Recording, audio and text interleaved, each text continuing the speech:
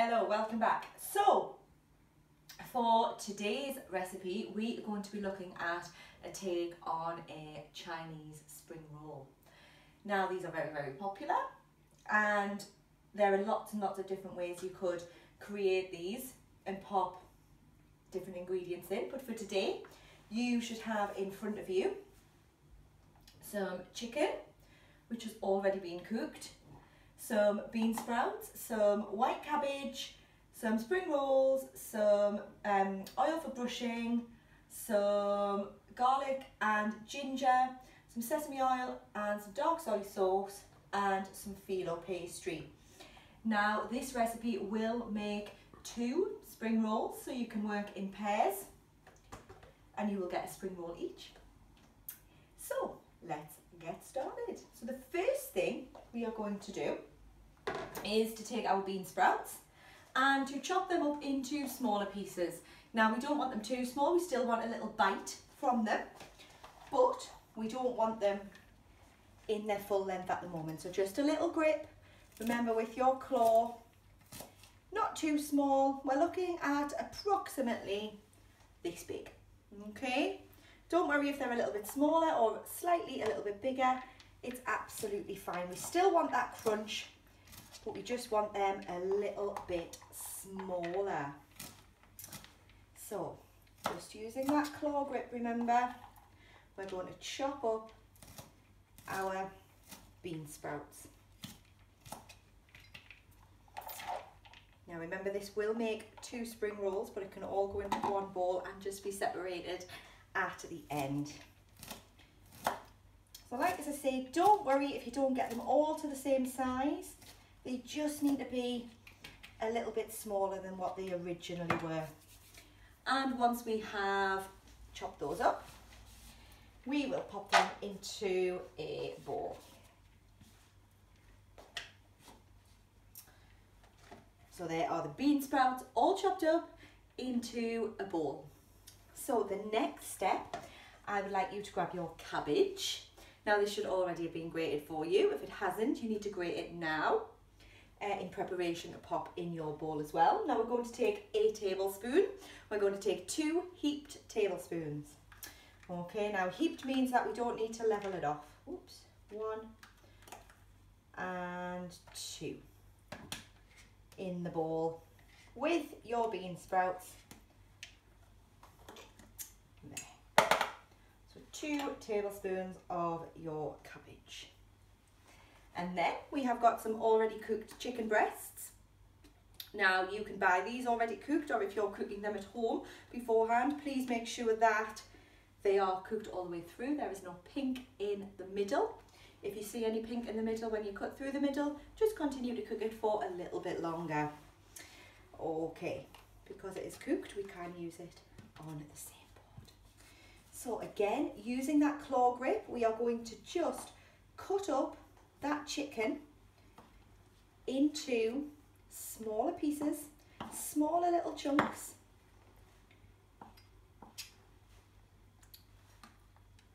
So that it is easier to eat. Now, when we are thinking about making these again at home, you might want to think about different meats or different types of fish you could pop in there. Um, so some Chinese spring rolls you may find are completely vegetarian, therefore we would just stick with the cabbage and bean sprouts and um, maybe pop some mushrooms in there.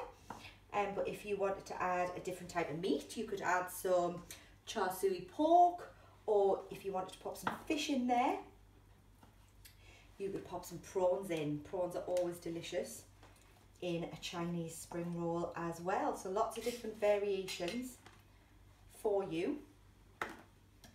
So we should have our bean sprouts chopped up and our cabbage chopped up and already in our bowl. And we have just chopped our chicken up and we are now going to pop that in the bowl as well. So bean sprouts, cabbage and chicken should all be in the bowl and we're going to give it one big mix. Get all of that cabbage, all of them bean sprouts, all of that chicken all mixed in together.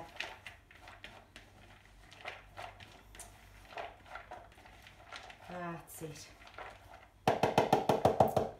now we are going to move on to the next step, on to step four, which is to pop a little bit of sauce onto those dry ingredients just to keep them nice and moist. Now, you should have some garlic and some fresh grated ginger. I'm recommending about half of a teaspoon of each, half a teaspoon of ginger, half a teaspoon of your garlic. And we're just gonna pop that straight into the bowl. Right in there, give it a mix, coat, again, coat all of those dry ingredients in, mm, smells really fresh, in the garlic and the ginger. Now if you did want to make this at home again and you didn't have any fresh garlic or fresh ginger, powdered is absolutely fine.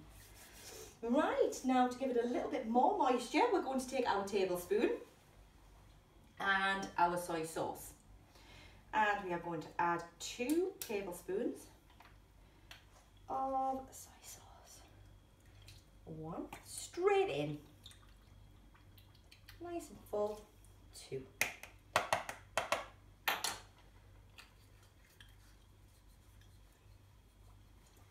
And then we are going to add one tablespoon of sesame oil.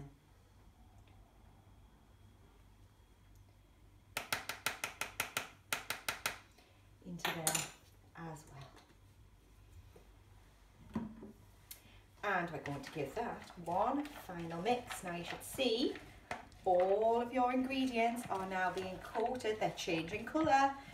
They're turning that dark brown colour which is the soy sauce coating all of, mm, give it a little smell, all of your ingredients. Really, really fresh. There we go. So we're giving them a mix. So we'll just recap what we should have already done.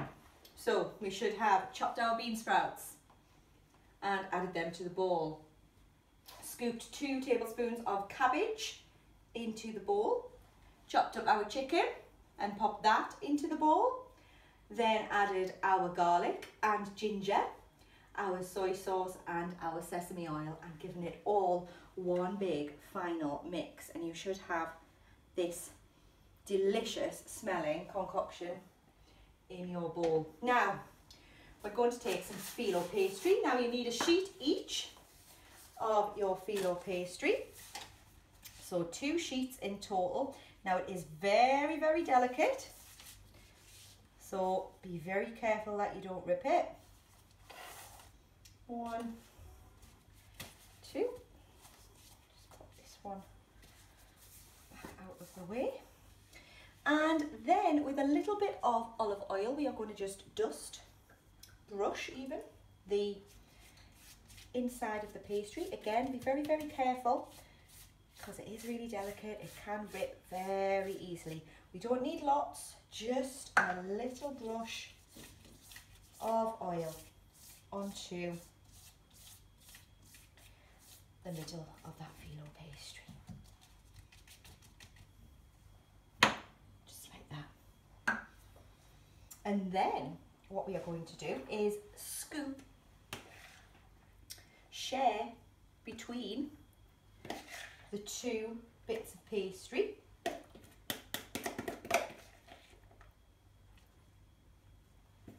Your filling.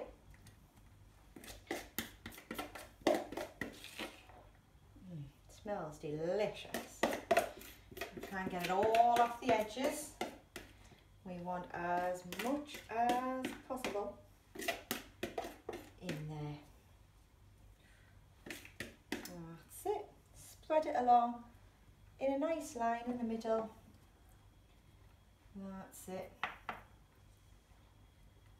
Equal amounts in the middle. Just like that. And then we are going to roll our spring rolls up. So to get it nice and tucked in, we fold the sides over first. One and two and then we fold in to meet the middle and then over and we continue to roll nice and tight. Now if your pastry does rip, just grab a little bit more of your phyllo and that is fine. We're going to just dust our,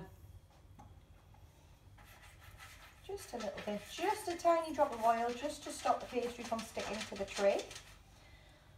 And the sealed bit, we're going to pop at the bottom, just like that. And do the same with the other one. So we fold, press it down, and fold again. Fold this bit towards the meat, and then nice and tight, fold it over